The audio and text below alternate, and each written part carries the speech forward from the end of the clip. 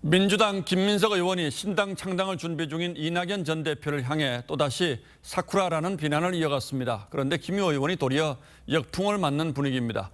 과거 김 의원이 민주당 노무현 대선 후보에게 등을 돌려 정몽준 후보에게 간 역사가 소환됐습니다. 최원희 기자가 취재했습니다.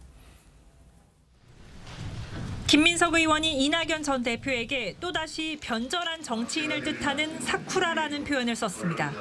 윤석열 검찰 독재의 공작 정치에 놀아나고 협력하는 사이비 야당, 즉 사쿠라 노선이 될 것입니다. 저는 민주당 덕으로 평생 꽃길을 걸은 분이 왜 당을 흔드냐고도 했습니다.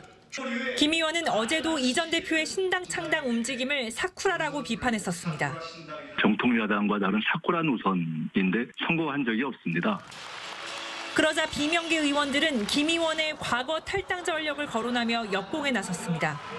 김 의원은 2002년 대선을 앞두고 노무현 후보 지지율이 떨어지자 민주당을 탈당해 무소속 정몽준 후보 캠프에 합류했습니다. 이때 철새 정치인이란 부정적 이미지가 생기면서 18년 만에야 원내에 입성했습니다. 그때 스- 철새, 김민새 뭐 이런 별칭이 붙었습니다. 그래서 사쿠라라고 말할 자격이 있는가? 그래서 저는 self dis라고 보는 겁니다. 이원욱 의원은 운동권 세대의 전형적인 내로남불이라며 586 청산론을 다시 꺼냈습니다. 이 같은 비판에 김 의원은 지난 20년간 깊은 반성과 사과를 거듭했다며 과거 자신의 선택을 비판했다면 그보다 100배 더 이낙연 신당을 비판해달라고 했습니다. TV조선 최원입니다.